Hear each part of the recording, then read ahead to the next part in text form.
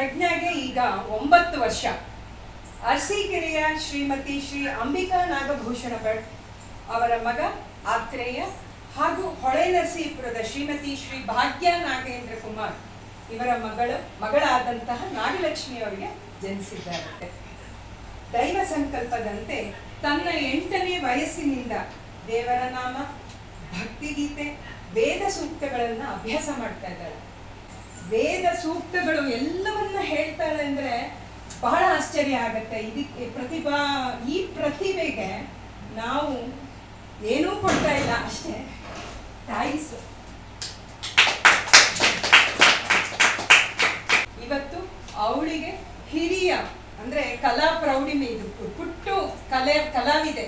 ಅವರಿಗೆ ಇವತ್ತು ಹಿರಿಯರು ಸನ್ಮಾನ, ಪುರಸ್ಕಾರ, ಪ್ರತಿಭಾ ಪುರಸ್ಕಾರವನ್ನ ನಮ್ಮ ವೃದ್ಧಿ ಕಲಾ ಅಥವಾ ವೃದ್ಧಿ ಕಲಿಕಾ ಮನೆಯಿಂದ ಅರ್ಪಿಸ್ತಾ ಇದ್ದೀವಿ. ಎಲ್ಲರೂ ಸಂತೋಷವಾಗಿ ಎಲ್ಲರೂ ಚಪ್ಪಾಳೆ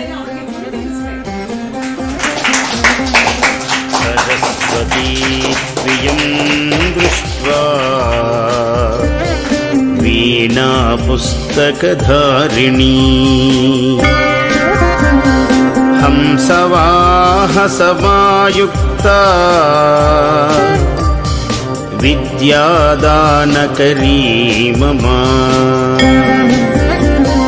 प्रथमं भारती नाम द्वितीयं च सरस्वती।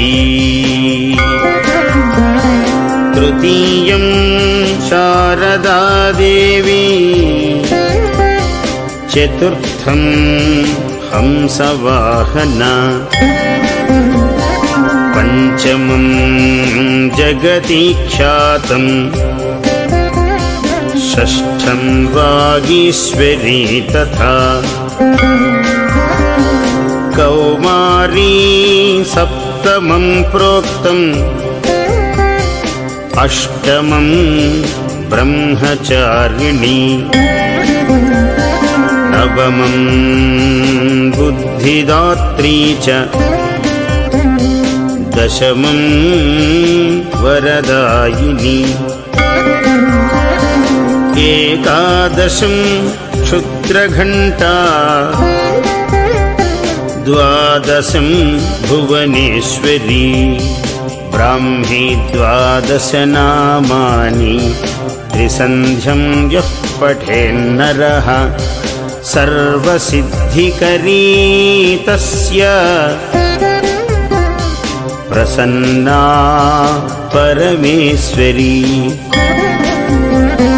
सा मे वसतु जिह्वाग्रे ब्रह्मरूपा सरस्वती।